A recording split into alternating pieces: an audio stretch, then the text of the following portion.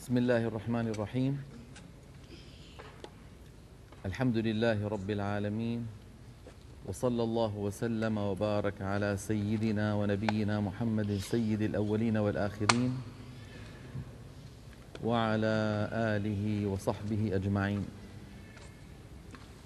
اللهم لا علم لنا إلا ما علمتنا إنك أنت العليم الحكيم. اللهم لا سهل إلا ما جعلته سهلا وأنت تجعل الحزن إذا شئت سهلا اللهم علمنا ما ينفعنا وانفعنا بما علمتنا وزدنا علما تنفعنا به يا رب العالمين وصلى الله وسلم وبارك على سيدنا ونبينا محمد وعلى آله وصحبه أجمعين. إخواني الكرام السلام عليكم ورحمة الله تعالى وبركاته. كنا أمس نتحدث حول بيت البيت الثالث من المنظومة الجزرية عند قول الجزري رحمه الله محمد وآله وصحبه ومقرئ القرآن مع محبه ولما وصلنا إلى قوله ومقرئ القرآن تكلمنا عن القرآن ما هو وبينا تعريفه ثم مر في التعريف كلمة نقل إلينا متواترا فبينا ما هو التواتر. ولما كان نقل إلينا فكان من اللازم أن نتكلم عن كيفية وصول القرآن العظيم إلينا بعد خمسة عشر قرنا من نزوله. فبينا بالأمس أن رسول الله صلى الله عليه وسلم بلغ الأمة القرآن العظيم بطريقين بلغهم إياه مكتوبا ومنطوقا. ثم بينا مراحل تدوين القرآن الكريم منذ نزوله على النبي صلى الله عليه وسلم إلى أن ظهرت مؤلفات بين يدي الأمة في المئة الرابعة تقريبا وبداية الخامسة. هذه المؤلفات حوت ما خالف فيه رسم المصحف الإملاء المعتاد بين الناس. وبهذه الطريقة صين القرآن الكريم وحفظ من أن يتطرق إليه أي نقص أو زيادة بالكتابة التي كتبت بين يدي رسول الله صلى الله عليه وسلم. واليوم نتكلم على الجانب الآخر الذي بلغ فيه النبي صلى الله عليه وسلم القرآن العظيم وهو الصوت. العرب يا إخوة في زمن النبوة كانوا كحالهم اليوم. قبائل شتى. وهذه القبائل العربية بينها قواسم مشتركة في النطق كثيرة جدا. لكن أيضا بينها اختلافات. وهو ما يسمى باللهجات. انتبهنا؟ واللهجات تختلف عن بعضها بثلاثة أمور تقريبا. الأمر الأول أن تكون الكلمة موجودة في كلتا اللهجتين إلا أن هؤلاء ينطقونها بكيفية وهؤلاء ينطقونها بكيفية أخرى. فكما أسلفت بالأمس قبيلة تقول بئر مهموزة وقبيلة أخرى تقول بير. انظروا في عصرنا هذا إلى كلمة الماء في العاميات المعاصرة. مناطق في الوطن العربي تقول مويا ومناطق تقول مية ومناطق تقول مي ومناطق تقول ماي. وبعض إخواننا في البادية يقولون ما ميم ألف. وكلهم قصدهم الماء. فالكلمة موجودة في كل هذه البيئات إلا أن طريقة التصويت بها تختلف. هذا هذه ناحية من نواحي اختلاف اللهجات الناحية الثانية أن تكون الكلمة موجودة في كلتا اللهجتين لكنها تعني هنا شيئا وتعني هنا شيئا آخر. في عند أناس تعني شيئا ونفس الكلمة تعني في عند قبيلة أخرى أو عند لهجة أخرى شيئا آخر. يعني من القديم مثلا نأخذ كلمة آه، صبأة التي استعملها بعض العرب لما أرسل رسول الله صلى الله عليه وسلم سيدنا خالدا لينظر في إحدى القبائل هل أسلموا أم لا. فذهب سيدنا خالد ومعه عدد من الصحابة كمثل يعني يعني سرية. فتلك القبيلة لما رأوا سيدنا خالدا ومعه هؤلاء الصحابة وهم متسلحون قالوا صبأنا صبأنا. ويقصدون يعني غيرنا ديننا ودخلنا في الإسلام. لكن كلمة صبأ عند قريش وتعني الصابئة عبدة الكواكب وكذا وأنهم. صبأنا. نعم. فصار سيدنا خالد يقتل فيهم. فلما بلغ ذلك النبي صلى الله عليه وسلم قال اللهم إني أبرأ إليك مما صنع خالد. انتبهنا؟ فهذه الكلمة آه، موجودة هنا وموجودة هنا ولكنها تعني عند كل قبيلة شيئا. وهذا أيضا في عصرنا موجود. قد تجد كلمة مستعملة في بيئتين من بيئات الوطن العربي. هنا تعني شيئا وهنا تعني شيئا آخر. يعني مثلا في الشام إذا قالوا فلان عم يعيط يعني عم يرفع صوته. في مصر إذا قلت فلان عم يعيط يعني عم يبكي. انتبهتوا كيف؟ فمرة تخاصم في الحج رجلان شامي ومصري. فالشامي يقول للمصري يا أخي ليش عم تعيط؟ وقصده لماذا ترفع صوتك؟ المصري يقول له لا أنا ما بعيطش. الثاني يقول له بلا عم تعيط. يقول له لا أنا ما بعيطش. فإذا الكلمة موجودة هنا وهنا ولكن آه، مدلولها مختلف. انتبهنا كيف؟ خذوا كلمة طليان. طليان عندنا في بلاد الشام تعني الإيطاليين. أهل إيطاليا شو بسموهم؟ طليان مثل ألمان يعني. وفي السعودية الطليان يعني الخرفان. انتبهتوا كيف؟ فمرة كان لنا صديق يشتغل في إحدى الشركات في جدة كلفوه باستقبال خبراء جايين من إيطاليا. فهو شامي فذهب إلى المطار وقد لبس و اعتنى بنفسه ف... وصار يبحث عن هؤلاء ينظر هنا وهنا. فالعسكري يعني رابه أمر هذا الإنسان. فناداه فقال يا أخي إيش في؟ قال له والله في طليان جوا عم بستناهم. فقال له طليان في المطار؟ فقال له مشان بدي ساعدهم بالحقائب. قال له معهم حقائب بعد. فإذا قد تكون الكلمة موجودة في كلتا البيئتين وتعني هنا شيئا وتعني هنا شيئا آخر هذا فرق ثان بين اللهجات.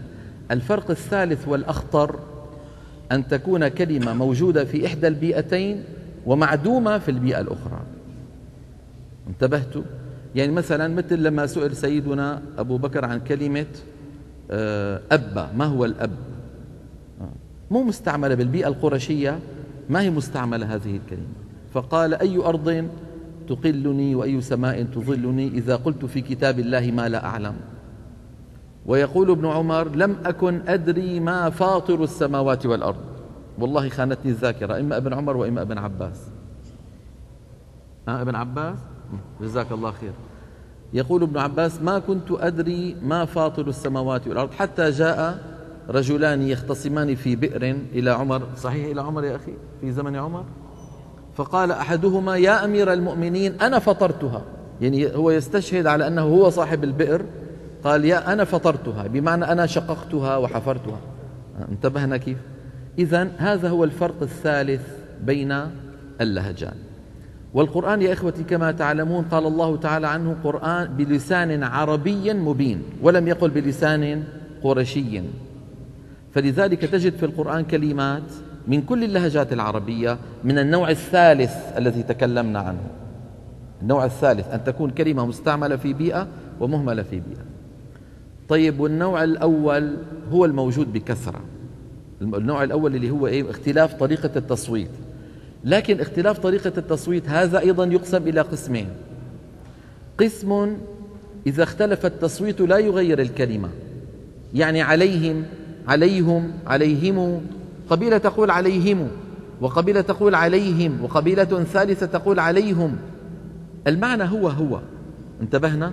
لكن أيضا في زمن النبوة كان هناك تغييرات للحروف نفسها لا لحروف المد والهمزات. كالحال اليوم. انتبه. يعني مثلا قبيلة آه، تقلب القاف جيما. مثل ما مثلا يقولون جدام بدل إيش؟ قدام. أو يقلبون الجيم ياء بدل مثلا الجربوع يقولون اليربوع. انتبهنا كيف؟ أو عكسها كما قال ذلك الشاعر القديم خالي عويف وأبو علج. المطعمان اللحم بالعشج. قصده خالي عويف وأبو علي. المطعمان اللحم بالعشي. هذه لهجة عربية قديمة لكن ما نزل بها جبريل؟ الطمطمانية. الطمطمانية هي استعمال أم بدل أل للتعريف. يعني بدلا من أن نقول المسجد نقول أم مسجد. بدلا من أن نقول الكتاب نقول أم كتاب. إلى الآن موجودة هذه اللهجة في غرب الجزيرة العربية وجنوبها منطقة جيزان ونجران. وبعض سهول تهامة إلى الآن يقولون أم كذا أم بيت. أم بيت يعني إيش؟ البيت. هذه لهجة موجودة لكن ما نزل بها جبريل ولم يؤذن بها لأنها قد تغير المعنى. انتبهتم يا إخواني؟ صوت جا أج هذا الصوت موجود في العاميات القديمة. لكن قبائل تستخدمه مكان حرف القاف. بدلا من أن يقولوا قال يقول يقولون قال يقول ونفس الصوت موجود في قبيلة أخرى مكان الجيم. فبدلا من أن يقولوا جاء يقولون جاء. فمثلا منطقة تعز إلى الآن يستخدم هذا الصوت جاء مقابل الجيم. انتبهنا؟ في حضرموت يستخدمونه مكان القاف بل وفي الجزيرة العربية في أغلب الجزيرة العربية الآن طغى استعمال صوت جاء مقابل صوت القاف. انتبه هذا موجود وقديم ولكن ما نزل به جبريل لأنه يضيع المعاني. يعني لو أتينا بشخص من تعز وشخص من حضرموت وقلنا لكل منهما اكتب نجيب نجيب. ماذا يكتبها التعزي؟ نجيب. وماذا يكتبها الحضرمي؟ نقيب. والنجيب شيء والنقيب شيء آخر. اكتبا جليل. ماذا يكتبها التعزي آه يكتبها جليل. هذا أمر جليل. والثاني يكتبها قليل. وهل الجليل مثل القليل؟ إذا من هنا هذه الأشياء التي موجودة لكن هنا في خطر صار خطر على النص القرآني أن تتغير معانيه فلم يؤذن بها. وإنما أذن بالأمور السهلة اليسيرة. من آمن؟ من آمن؟ ماشي الحال. انتبهنا. الإنسان الإنسان. موسى موسى موسى. ما ما في ما في خطر. انتبهتوا كيف؟ فهذه أذن بها. إذا ليس كل اللهجات القديمة أذن بها وإنما أذن فقط بالذي فيه تيسير على الأمة من غير إخلال. للنص الأصلي. انتبهت يا سيدي؟ إذا نزل القرآن على رسول الله صلى الله عليه وسلم بلسان عربي مبين والنبي صلى الله عليه وسلم كما نعلم قرشي بأبي وأمي. ففي الحديث أن جبريل عليه السلام نزل على رسول الله صلى الله عليه وسلم عند أضاة بني غفار فقال يا محمد إن الله يأمرك أن تقرأ أمتك القرآن على حرف يعني على طريقة واحدة. فقال يا جبريل إني أرسلت إلى أمة أمية فيهم الشيخ الكبير والمرأة أه؟ فيعني بمعنى يطلب التخفيف. فما زال به حتى قال إن الله يأمرك أن تقرأ أمتك القرآن على سبعة أحرف كلها شاف كاف. وقال صلى الله عليه وسلم وروى ذلك عنه سيدنا علي رضي الله عنه إن رسول الله يأمركم أن تقرأوا كما علمتم.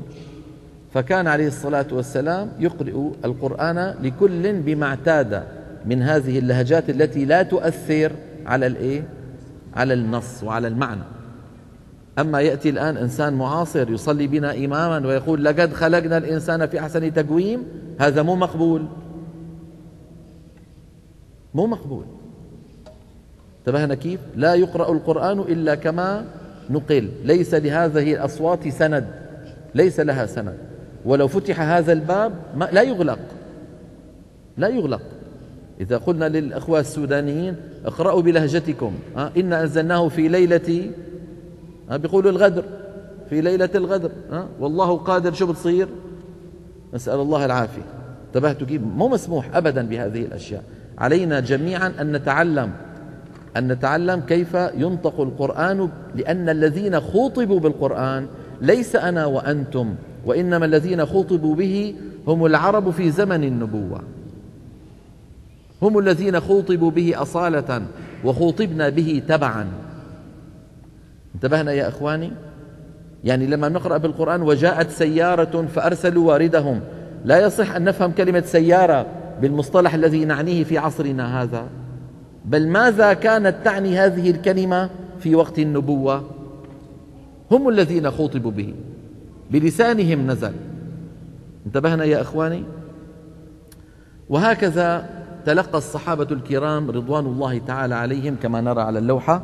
نزل جبريل عليه السلام بالقرآن العظيم على قلب النبي صلى الله عليه وسلم بألفاظه ومعانيه وكل ما يتعلق به. هنا لفتة بسيطة.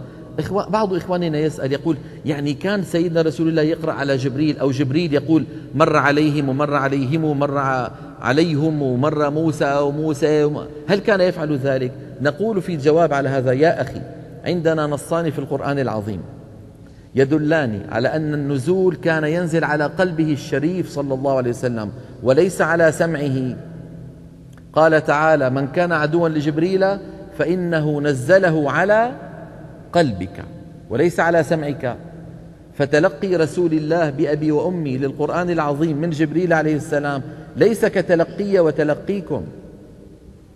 نحن أنتم تسمعون كلامي. هل تجدون ثقلا؟ لكن سيدنا رسول الله كان يجد ثقل. من لقاء جبريل عليه السلام كما ورد الأحاديث الكثيرة يعني يتفصد عرقا صلى الله عليه وسلم في الليلة الباردة. ومرة نزل عليه جبريل عليه السلام ورأسه الشريف على فخذ السيدة عائشة تقول السيدة عائشة أحسست فخذي قد قطعت. إنا سنلقي عليك قولا ثقيلا. وسورة الشعراء نزل به الروح الأمين على قلبك. فكان القرآن ينزل على رسول الله بكيفية اسمها الوحي لا يعرفها إلا من عاناها حق المعرفة. هذه الكيفية الله أعلم بها. لكنه قال صلى الله عليه وسلم يفصم عني يعني الوحي ينفصل يعني وقد وعيت ما قال. وقد وعيت ما قال. وكان كما تعلمون في أول الأمر سيدنا رسول الله يخشى أن ينسى القرآن فكان يردد مع جبريل فأتاه الأمر لا تحرك به لسانك لتعجل به. إن علينا جمعه يعني في صدرك؟ وقرآنه. فإذا قرأناه يعني قرأه جبريل فاتبع قرآنه. ثم إن علينا بيانها الآيات المعروفة لديكم. إذا هذه المرحلة الأولى من التلقي. نزول الوحي كما قال الله وإنك لتلقى القرآن من لدن حكيم عليم. انتبهنا؟ هذه بداية السلسلة. النبي عليه الصلاة والسلام بأبي وأمي هو بشر مثلنا فلما تلقى القرآن العظيم لما كان يتكلم بفمه الشريف كان الصحابة الكرام يسمعونه بإيه؟ بآذانهم. الأمر سهل ما عاد في مشقة. من الذي تحمل المشقة؟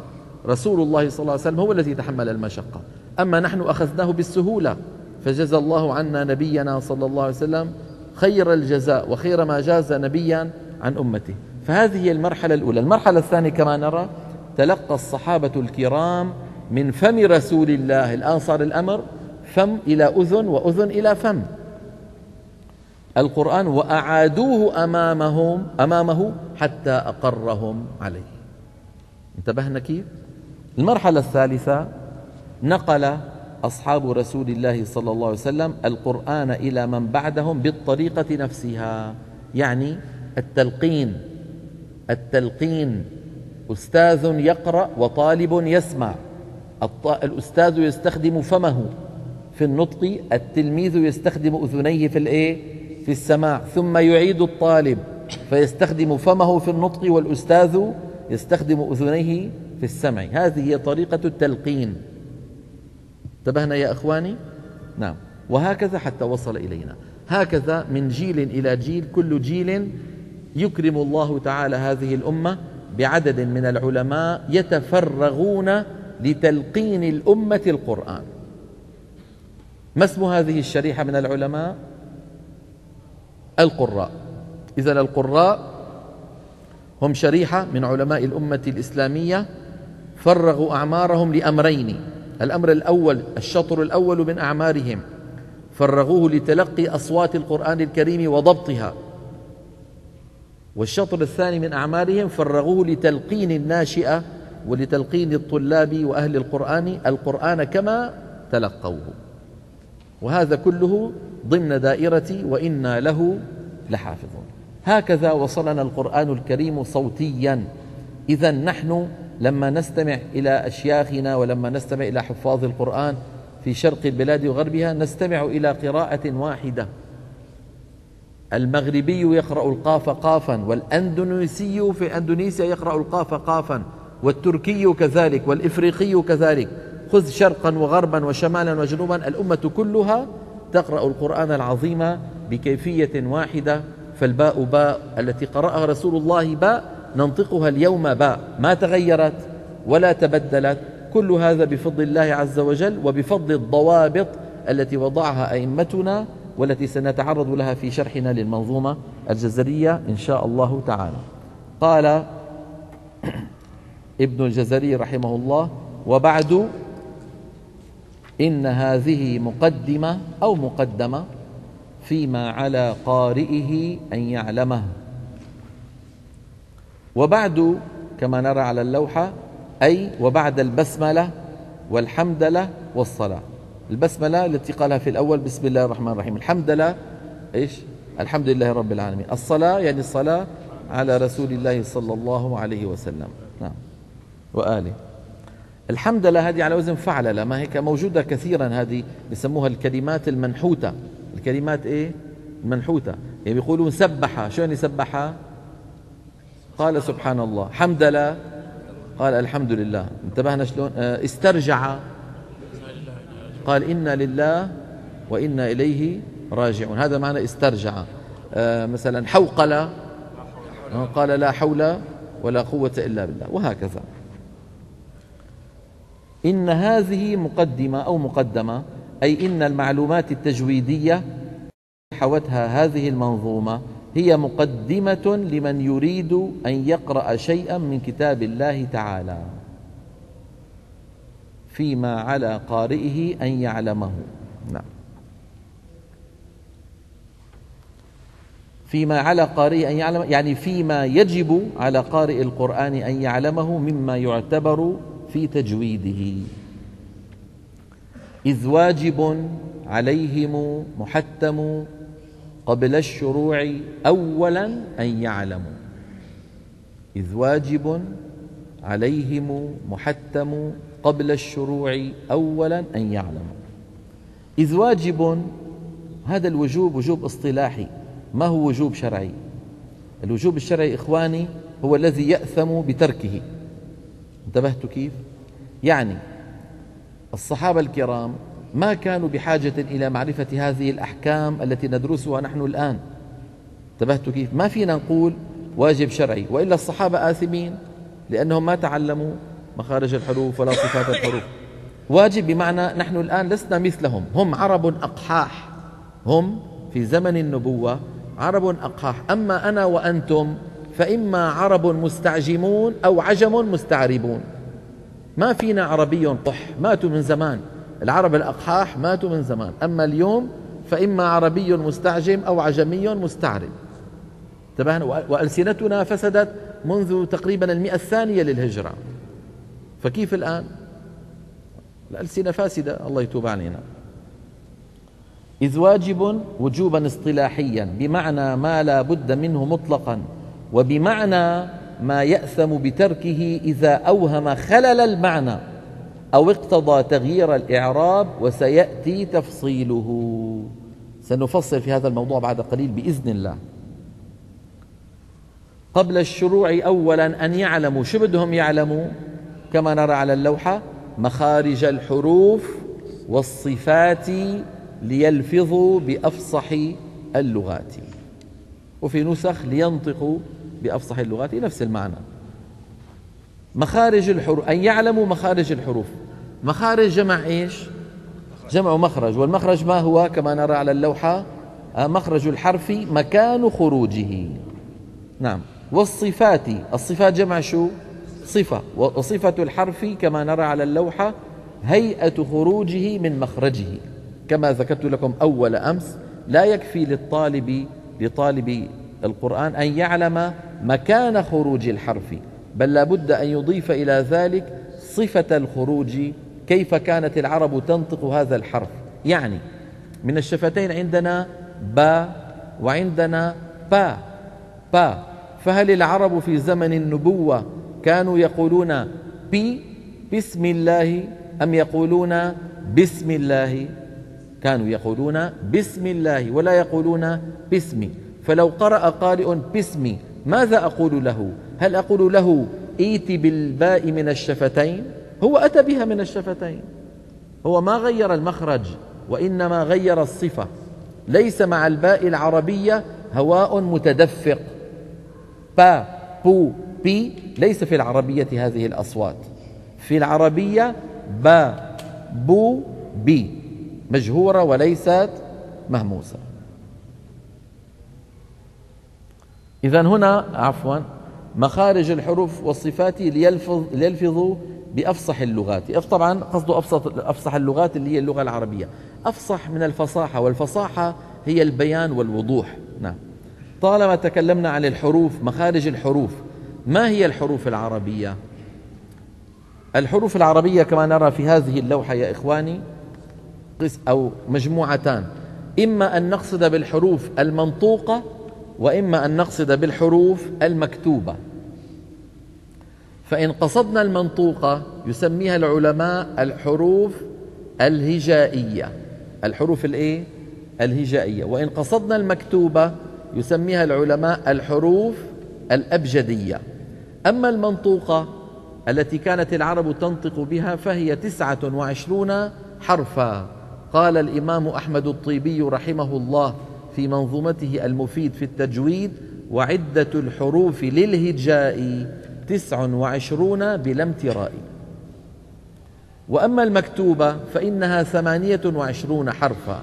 ولسائل أن يسأل لماذا كانت المكتوبة أقل من المنطوقة بحرف؟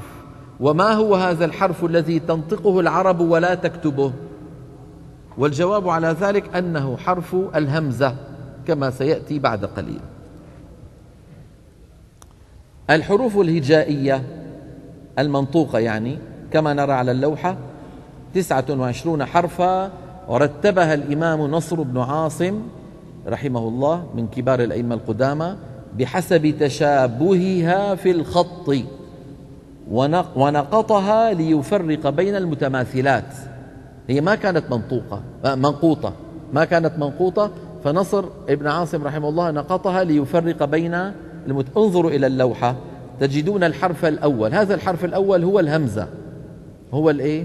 الهمزة. ولكن مجازا يقولون عنه ألف. لأنه يكتب على هيئة عندنا بعدها باء تاء ثاء أرأيتم كيف أن شكلها واحد؟ انظروا إلى اللوحة. فلذلك وضع نصر رحمه الله تحت الباء نقطة. وفوق التاء نقطتين وفوق الثاء ثلاث نقط. قد يقول قائل ولماذا لم يضع نقطة واحدة من فوق؟ وضعها ولكن على النون. انظر إلى النون في آخر الحروف. فوضع عليها نقطة لأنها أيضا تشتبه بالباء والتاء والثاء. ثم تأتي الجيم والحاء والخاء. هي متماثلة في الخط. فوضع رحمه الله في داخل الجيم نقطة وفوق الخاء نقطة وترك الحاء من غير نقط لأنها عندئذ لا تشتبه. كذلك الأمر بالنسبة إلى الدال والذال كما سيأتي معنا. هذه الحروف التي ترونها أمامكم هي الحروف الهجائية وفي آخرها الواو والألف والياء. هذه التي ترونها مكتوب لام ألف هي الألف وسيأتي الحديث عنها بعد قليل. تنبيه. الألف التي في أول الحروف الهجائية هي الهمزة.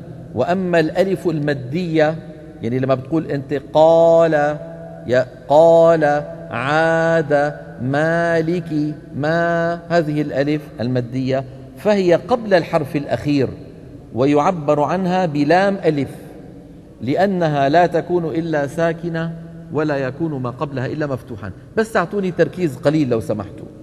أخي الكريم كل حرف من حروف اللغة العربية له حالة من أربع حالات. كل حرف إلا الألف. اتركوا الألف قليلا. كل حرف ما عدا الألف إما أن يكون ساكنا أو مفتوحا أو مضموما أو مكسورا ولا خامس. أما الألف هذا الحرف لا يكون إلا ساكنا ولا يكون ما قبله إلا مفتوحا. إذا ألف متحركة لا يوجد. طيب. ألف ساكنة ليس قبلها مفتوح أيضا لا يوجد. فالألف لابد أن يكون قبلها حرف مفتوح. وبالتالي الألف لا تتصدر. يعني يستحيل أن تجد كلمة أولها ألف. ألف منطوقة. لأنها دائما هي مفتقرة لمن؟ لحرف يتقدم عليها وهذا الحرف يجب أن يكون مفتوحا. انتبهت كيف؟ طيب. لو قال قائل لأخيه انطق لي ألفا. ماذا يقول الثاني؟ لو قلت لأخي مثلا انطق ألفا. ماذا تقول؟ أ؟ يقول آ. إذا وضع قبل الألف همزة. لماذا وضع؟ ألم يكن ممكن أن يقول با؟ أو يقول سا؟ أو يقول قا؟ ممكن. المهم أن يضع حرفا قبلها. نريد حرفا له مزية. نريد حرفا له مزية. ماذا قال العلماء؟ قالوا عندنا في لغة العرب شيء اسمه لام التعريف. شو اسمه؟ لام التعريف. الكذا مثلا المسجد. هذه اللام لام ساكنة أليس كذلك؟ والعرب من قواعد لغتهم أنهم لا يبدأون بساكن. فإذا وجد عندهم كلمة أولها حرف ساكن يجلبون لها همزة الوصل كما سيأتي معنا في آخر المنظومة عند قول الجزري بإذن الله. آه وابدأ بهمز الوصل من فعل بضم. فإن وجدت لام التعريف الساكنة جلبوا لها همزة الوصل مفتوحة ولكنهم يكتبونها على هيئة مين؟ على هيئة ألف. ألم نقل إن الهمزة لا صورة لها؟ عندما أقول أنا المسجد. آه ماذا أنطق همزة؟ لكن ماذا أكتب؟ ألف. إذا لام التعريف الساكنة احتاجت وافتقرت إلى حرف يتقدم عليها. من الذي خدمها؟ الألف. الآن الألف مفتقرة إلى حرف يتقدم عليها. من أولى الحروف أن يرد لها الجميل؟ اللام. عرفتوا؟ فقالوا لام ألف. عرفتوا لماذا قالوا لام ألف؟ بدل يعني إذا واحد قال للثاني انطق لي ألفا فعلى الثاني أن يقول لا. انتبهتوا؟ قال الطيبي رحمه الله عن الألف فلفظها مفردة ممتنع و فلفظها مفرد ولم تكن في الابتداء تقع. فمن يكن عن ألف قد سئل بأن يبين لفظها يقول لا. نعم. انتبهت كيف؟ إذا قال لك أخوك انطق لي ألف تقول له لا. نعم. فهو يظن أنك يعني لا تريد أن تنطق وأنت قد نطقت. نعم. إذا هذا معنى قول علمائنا في آخر الحروف الهجائية لام ألف يعنون بها الألف. انتبهنا يا أخي. كتابة الهمزة بين الإملاء القديم والحديث. لم يكن للهمزة عند العرب صورة في الخط بل كانوا يعاملونها كالتالي. في أول الكلمة يكتبونها ألفا. سواء كانت مفتوحة أو مضمومة أو مكسورة. مفتوحة مثل أتى انظروا إلى اللوحة. ومكسورة مثل إبراهيم. ومضمومة مثل أمور. هكذا كانوا يكتبون الهمزة في أول الكلمة.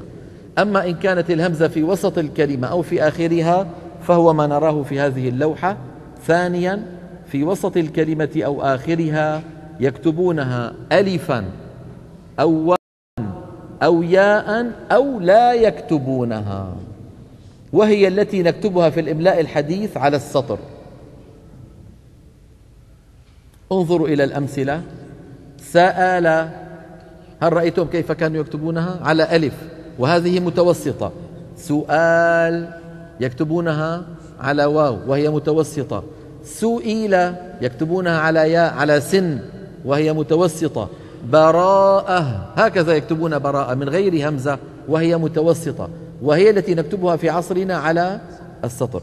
أما المتطرفة ملجأ ملجأ كي يكتبونها على هيئة ألف. العلماء يكتبونها إيش؟ لا يكتبونها. نحن نكتبها على إيه؟ على السطر. بؤ باء يبوء والفعل الأمر منه بؤ. ما بقول لك فباء بغضب من الله ها؟ باء يبوء وأنت يا فلان بؤ. فعل أمر من باء يبوء تكتب هكذا. باء واو. جئ فعل أمر من جاء يجيء. كيف يكتبونها؟ ها جيم يا هكذا كانت الكتابة في عصر النبوة. إلى أن جاء الإمام العظيم الخليل بن أحمد الفراهيدي رحمه الله فهو الذي وجد أنه من الضروري أن يكون للهمزة صورة في الخط. انتبهت فاخترع لها صورة. أول من اخترع صورة للهمزة في الخط من هو؟ الخليل رحمه الله. ثم اخترع الإمام الخليل بن أحمد الفراهيدي المتوفى سنة خمس وسبعين ومائة هجرية. لها صورة في الخط. هي رأس حرف العين. شو قال الخليل يا شباب؟ آ أع أع آ آ آ أع قال إن الهمزة والعين مخارجهم. متجاورة ومتقاربة. فأخذ حرف العين انظروا إلى حرف العين. أه؟ انظروا إليه لو سمحتم. وهكذا قطع رأسه وأخذ النصف العلوي منه وجعله صورة لمين؟ للهمزة. فهو الذي اخترع صورة للهمزة. ومن بعدها صرنا نحن نكتب مثلا أريد أن أكتب أن فأضع ألفا وفوقها رأس العين. نعم. هذه الأحرف المتماثلة التي نقطها نصر بن عاصم كما ترون على اللوحة الباء والتاء والثاء. أما الباء فوضع نقطة تحتها وأما التاء فوضع نقطتين فوقها وأما الثاء فوضع ثلاث نقاط فوقها. الجيم والحاء والخاء كانت هكذا كما ترون اللوحة.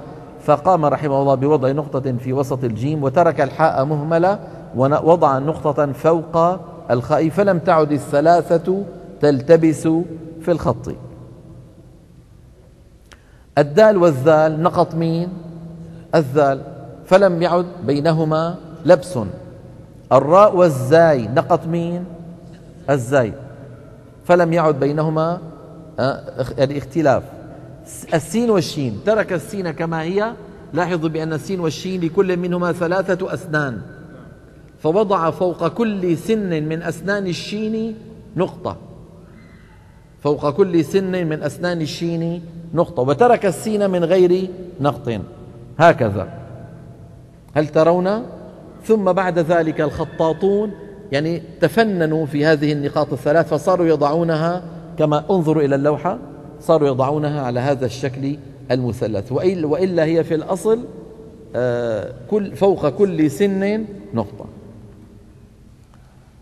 هذه صاد ضاد طاء ظاء هذه الأربعة المتتالية كانت صورتها في الخط العربي القديم واحدة. صاد ضاد طاء ظاء كانت كتابتها واحدة. هكذا كما ترون. طبعا هذا ملبس فيه التباس. فماذا عمل نصر بن عاصم رحمه الله؟ جعل للطاء وللظاء أرأيتم السن؟ السن الذي في آخر هذا السن طوله في الطاء والظاء وتركه قصيرا في الصاد وفي الضاد. انظروا. ثم فرق بين الصاد والضاد من جهة والطاء والظاء من جهة بتطويل سنة الطاء والظاء.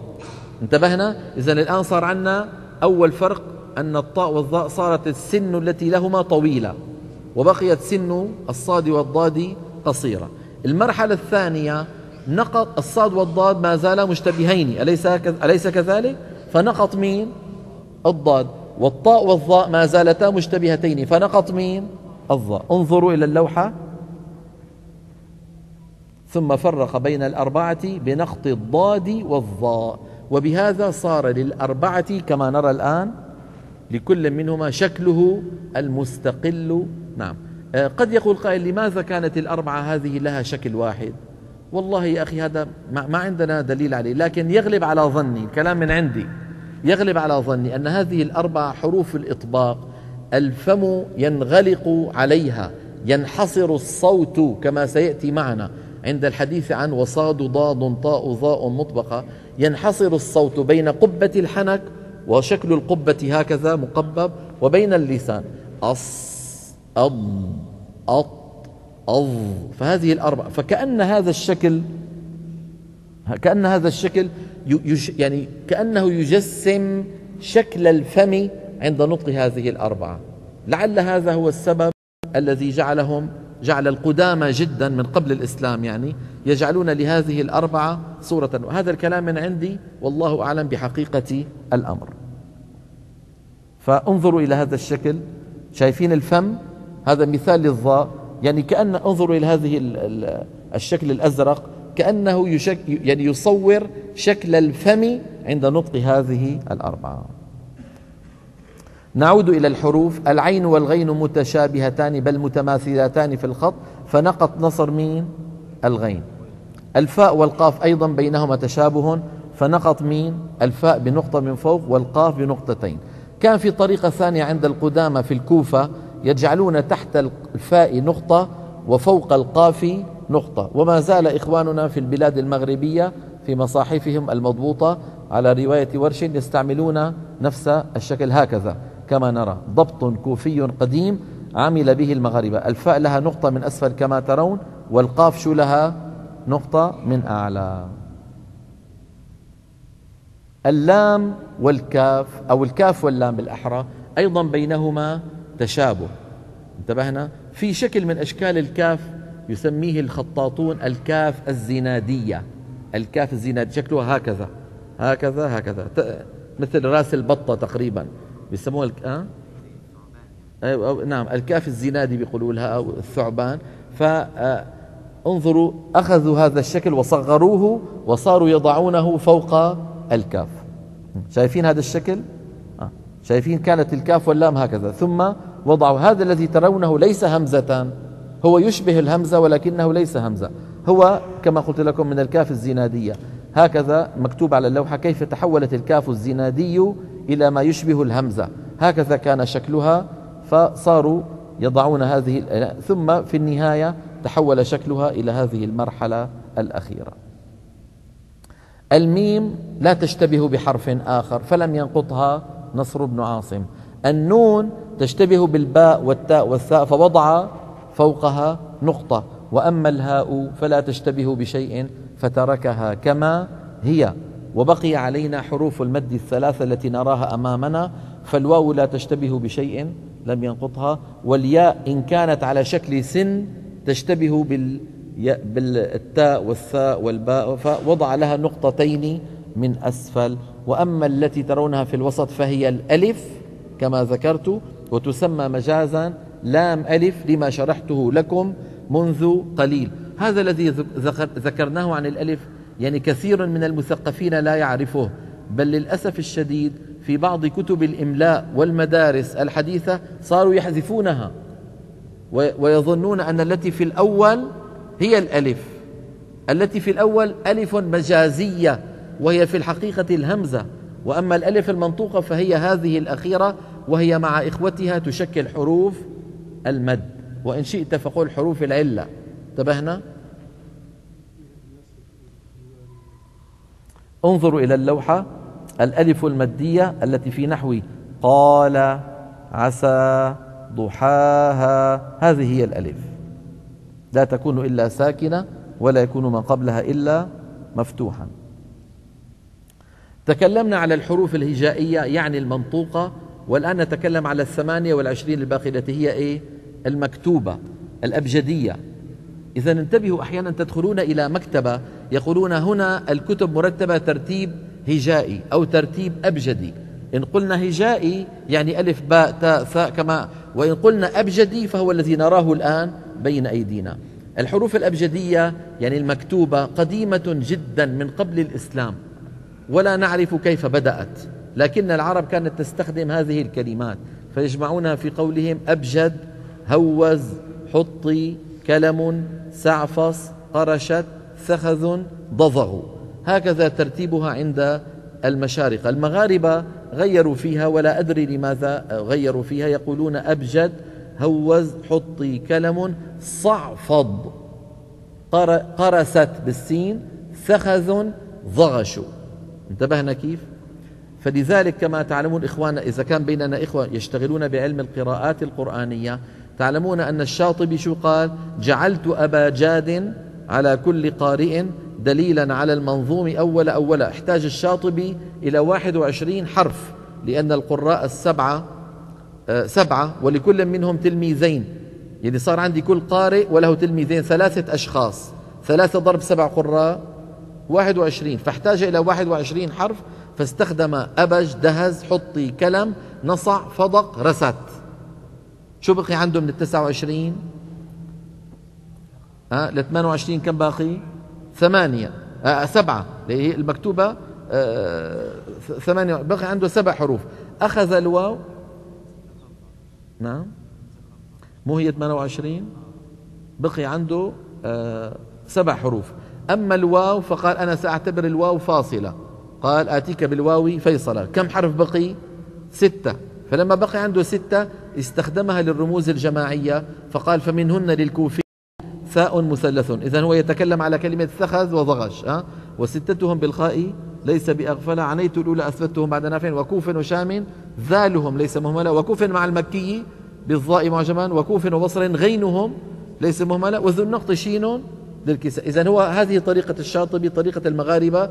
أبجد هوز حطي كلم صعفض قرست ثخذ ضغش بينما المشارقة ليست طريقتهم كذلك. الجزري رحمه الله مع كونه مشرقيا ما أراد أن يخالف الشاطبية حتى لا يجعل اختلاف عند عند الطلبة طلبة القرآن. فقال في طيبة النشر وكل ذا تبعت فيه الشاطبي ليسهل استحضار كل طالب وكل ذا تبعت فيه الشاطبي ليسهل استحضار كل طالب. نعم. هذه الحروف الأبجدية. ما معنى هذه الكلمات؟ لا أدري. شيء قديم من قبل الإسلام. نعود إلى أبيات الجزري. إذ واجب عليهم محتم قبل الشروع أولا أن يعلموا مخارج الحروف والصفات ليلفظوا بأفصح اللغات. أفصح من الفصاحة. شو الفصاحة؟ البيان والوضوح. يعني لغة العرب حروفها واضحة ما فيها غمغمة ما فيها حروف داخلة في بعض بحيث أنه السامع يلتبس عليه الأمر. وهم قوم كانوا يعنون بالفصاحة ويفتخرون بها. وطالما أن الله يريد أن ينزل للبشرية القانون الأخير والدستور النهائي لها فلا بد أن يكون مصوغا بحروف وبلغة واضحة ليس فيها التباس ولا آه، يعني غموض. اللغات جمع لغة وهي الألفاظ الموضوعة لمعنى. موضوعة معنى تألفها الناس أه؟ موضوعة لمعنى. واجب عليهم أن يعلموا ذلك. ثم قال رحمه الله محرري التجويد والمواقف.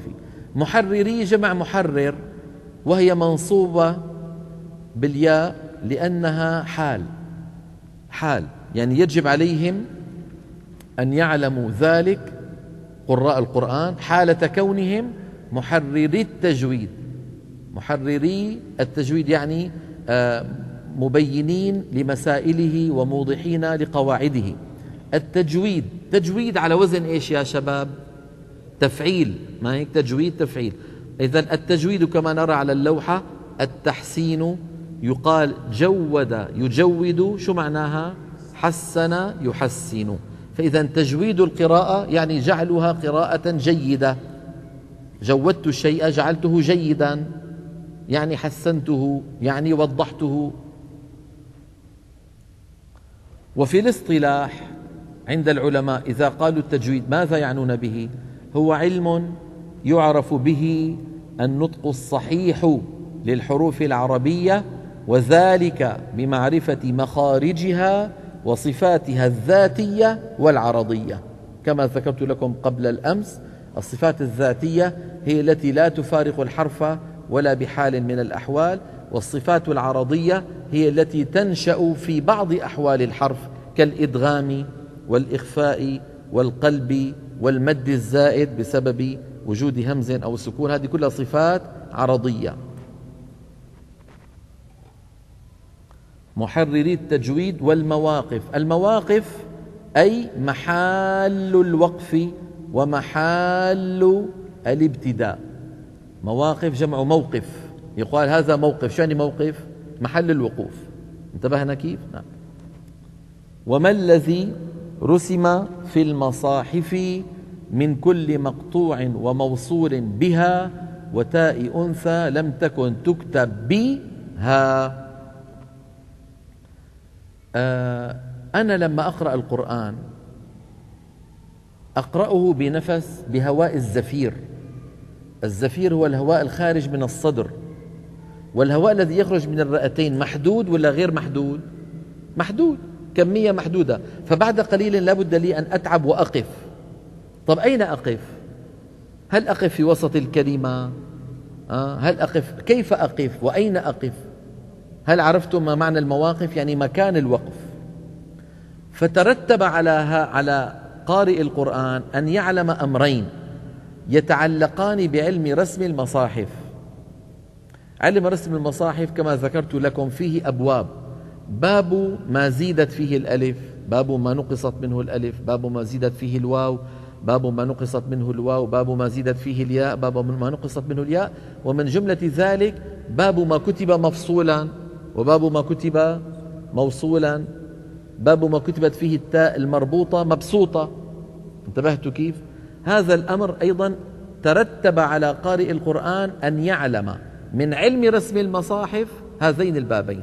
يعني أنا كقارئ للقرآن ليس من الضروري أن أتعلم علم رسم المصاحف كله. ما لي علاقة فيه. أنا عم بقرأ من المصحف ذلك الكتاب لا ريب فيه الكتاب. علماؤنا وضعوا لي بين الكاف والتاء ألفا خنجرية.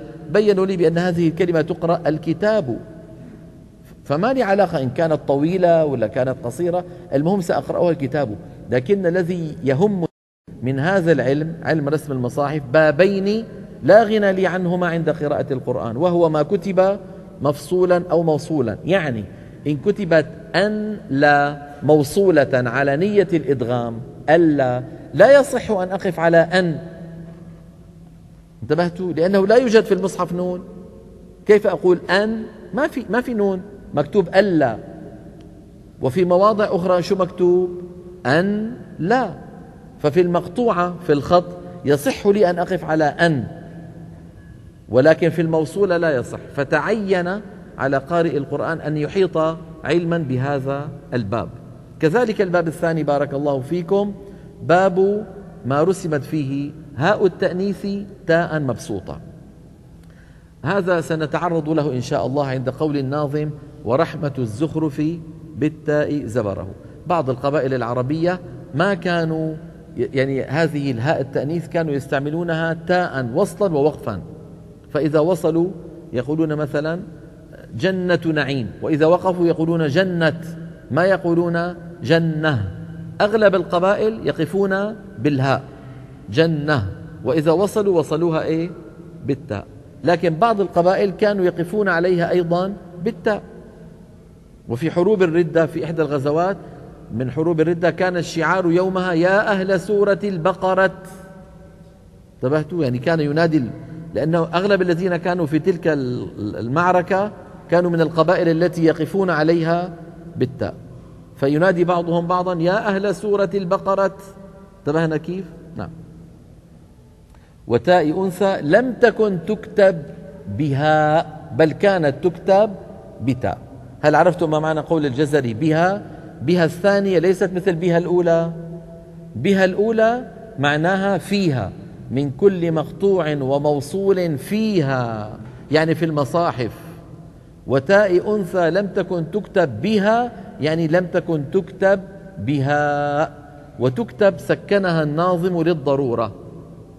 لم تكن مفروض تكتب لأنه تكتب فعل مضارع مرفوع.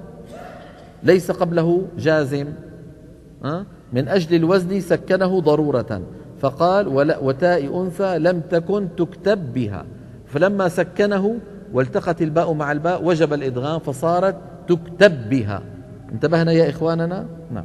هذا شو بيسموه بعلم البلاغة؟ بها وبها. شو بيسموه؟ جناس الجناس هو أن تنطق كلمة آه، نطقا واحدا وفي كل مرة لها معنى. طيب طالما بسم الله.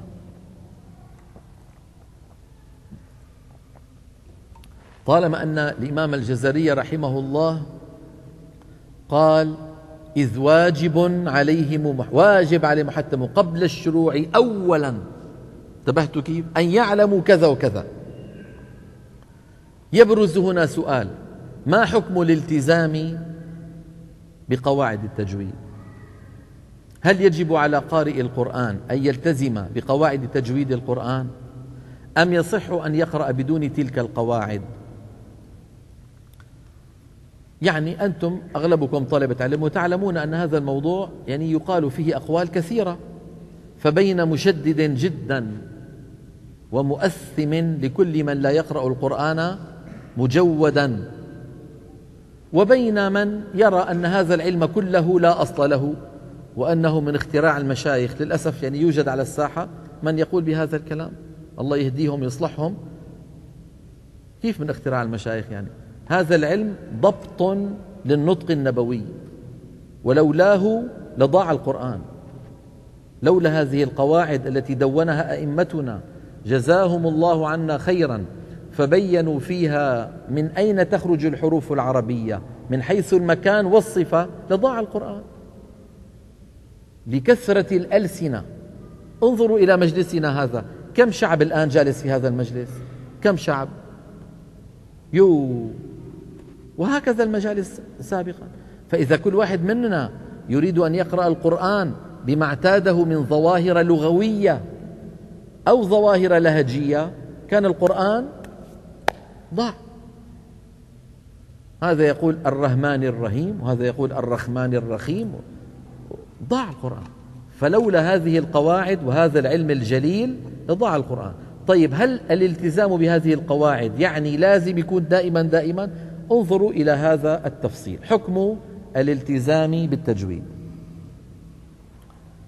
نفصل في الموضوع. ألم نقل إن علم التجويد يعنى بمخارج الحروف وصفات الحروف؟ سوف نبدأ واحدا واحدا. مخارج الحروف.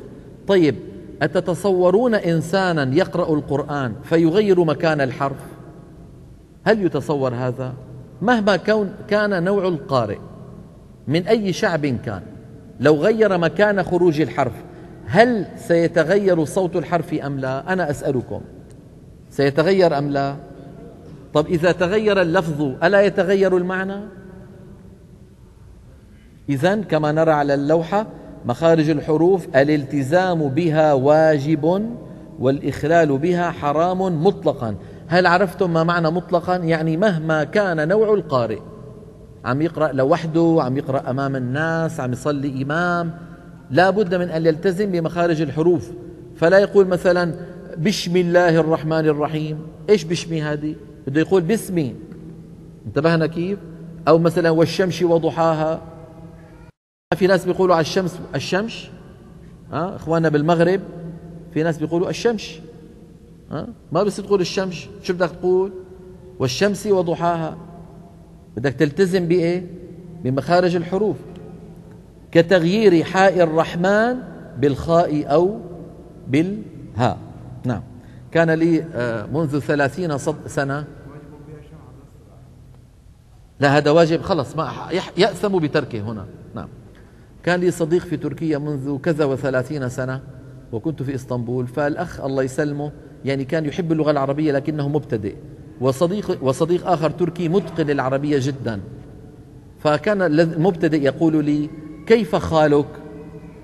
أنا أفهم عليه ولكنني أريد أن أمزح معه فأقول له توفي رحمه الله. فيستغرب يقول لي كيف خالك؟ أنا أقول له توفي رحمه الله. فالصديق الثاني يضحك يضحك ثم يشرح له الفرق بين الخاء والحاء وأن الخال هو أخو الأم؟ خالك يعني أخو أمك؟ وحالك يعني وضعك؟ فلما فهم ذلك الأخ الفرق بين حالك وخالك قال لي كيف حالك؟ وبذل جهدا مخيفا في إخراج حرف الحاء. انتبهت كيف؟ فإذا جزى الله أئمتنا الذين ضبطوا لنا هذه الأماكن لخروج الحروف ولولاها لضاع القرآن واختلطت معانيه. هذا بالنسبة لمخارج الحروف. بالنسبة لصفات الحروف أيضا نقسمها إلى قسمين. خليكم معي شوي البحث دقيق. نقسم صفات الحروف إلى كم قسم؟ إلى قسمين. صفات إن أخللنا بها يخرج الحرف عن حيزه وينتقل إلى حرف آخر. وصفات إذا ما أتينا بها لا يتغير الحرف عن حيزه إلى حرف آخر ولكن يفقد جماله يفقد رونقه. إذا ألف صفات تغييرها يخرج الحرف عن حيزه. الالتزام بها واجب والإخلال بها حرام مطلقا مثل مخارج الحروف. كتفخيم سين عسى. وتكلمنا عن هذا أول أمس عسى أن يبعثك ربك مقاما محمودا. لو فخم القارئ السين من عسى. شو بتصير عصا. وترقيق صادي؟ عصا. وعصى آدم ربه فغوى. لو رققها شو بتصير وعسى آدم ربه. قال وما تلك بيمينك يا موسى؟ قال هي عسايا ولا هي عصايا؟ فإذا هنا إن أخللنا بصفة الحرف خرج الحرف عن حيزه إلى حيز آخر. فهذه النوع هذا النوع من الصفات الالتزام به واجب والإخلال به أيضا حرام مطلقا. ما معنى مطلقا؟ مهما كان نوع القارئ. وترقيق طاء الطلاق. تصور واحد عم يقرأ يقول التلاق مرتان. أه؟ وآخر يقول لينذر يوم الطلاق. ما في شيء اسمه يوم الطلاق. في شيء اسمه إيش؟ يوم التلاقي. التلاقي من الملاقاة. والنوع الثاني من الصفات يا إخوة صفات تزيينية تحسينية كترقيق الراء المفتوحة أو المضمومة. نحو الرحمن الرحيم. لو قارئ قرأ بسم الله الرحمن الرحيم. هل حرف الراء تغير إلى حرف آخر؟ لكن العرب لا يقولون الرحمن الرحيم. شو بيقولوا؟ الرحمن الرحيم. فالحرف فقد جماله ورونقه لكن ما تغير. وعدم تبيين الهمس والتفشي وعدم تطويل زمن الحرف الرخوي الساكن مقارنة بالشديد كما سيأتي معنا. وكل ما اصطلح عليه العلماء باسم اللحن الخفي.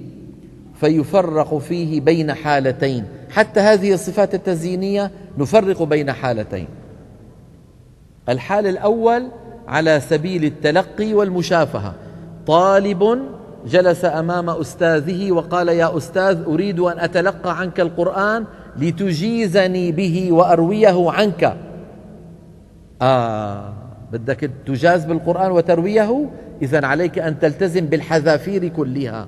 فلا يصح في مقام التلقي والمشافهة أن يقول الطالب الرحمن الرحيم. شو بده يقول؟ الرحمن الرحيم. والإخلال بها حرام. ليه؟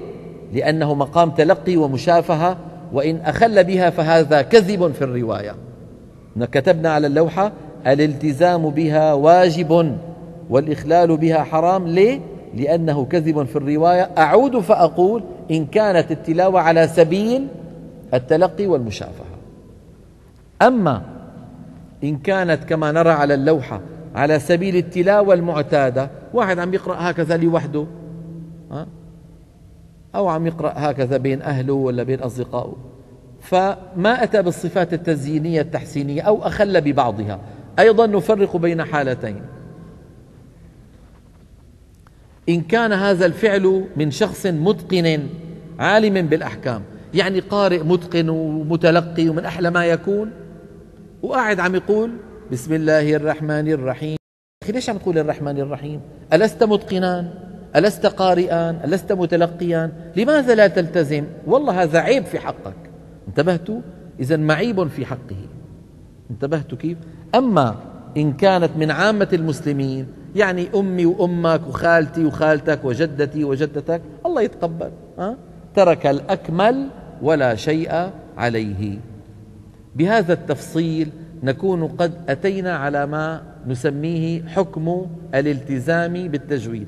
يعني لا نحن شددنا على الناس وقلنا من لم يجود القرآن آثم وهربنا الناس من القرآن. والله أنا أذكر مرة منذ يمكن 25 سنة سألت إنسانا عن قراءة القرآن فقال لا يا عمي أنا تركت لكم القرآن لكم وأخرج لي من جيبه سبحة وقال لي قالوا لي إن قرأت القرآن بغير تجويد فأنا آثم فأنا أنا أريد الحسنات لا أريد السيئات. وأخرج لي من جيبه سبحة وقال أنا أقول لا إله إلا الله وأستغفر الله وأصلي على النبي صلى الله عليه وسلم فآخذ ثوابا. أرأيتم كيف التشديد هرب هذا الإنسان من تلاوة القرآن. بالله عليكم لو سبح مليون مرة أو قال لا إله إلا الله مليون مرة أيعرف الحلال من الحرام؟ ما يعرفه إلا بقراءة القرآن. فلا نريد أن نشدد تشديدا ينفر الأمة. يسروا ولا تعسروا وبشروا وسكنوا ولا تنفروا. أليس كذلك؟ ولا أيضا نتساهل تساهل يلا مشي مشي مشي. ونجعل الإخوة مثلا يقول والله فلان ما شاء الله مجاز. سمعنا؟ أوف التلاوة مليئة بالملاحظات ويقول أنا مجاز. إيش المجاز هذا؟ فلا إفراط يا إخوة ولا تفريط. هذا الذي ذكرته لكم سأجمله لكم الآن على مخطط شجري لأن الأمور لما تكون إلى جانب بعضها تكون أرسخ في الذاكرة. فتابعوني لو سمحتم على اللوحة التالية حكم الالتزام بالتجويد مخارج الحروف الالتزام بها واجب والإخلال بها حرام مطلقة. صفات الحروف نفرق بين صفات تغييرها يخرج الحرف عن حيزه فالالتزام بها واجب والإخلال بها حرام مطلقة. وصفات تزيينية تحسينية أيضا يفرق فيها بين حالتين. على سبيل التلقي والمشافهة الالتزام بها واجب والإخلال بها حرام لأنه كذب في الرواية. أما على سبيل التلاوة المعتادة فأيضا نفرق بين حالتين من متقن عالم بالأحكام فهذا معيب في حقه ومن عامة المسلمين ترك الأكمل ولا شيء عليه. هذا الذي أراه في هذا الموضوع. صار الأذان يا سيدي؟ صار؟ طيب. إذا بهذا نكون قد أنهينا آه، الكلام على مقدمة المنظومة الجزرية وبينا حكم الالتزام بالتجويد. بقي في في الدرس القادم إن أحيان الله أن نتكلم على قول الناظم رحمه الله مخارج الحروف سبعة عشر على الذي يختاره من اختبر. نسأل الله التوفيق لنا ولكم وإن شاء الله نلتقي على خير. والسلام عليكم ورحمة الله وبركاته.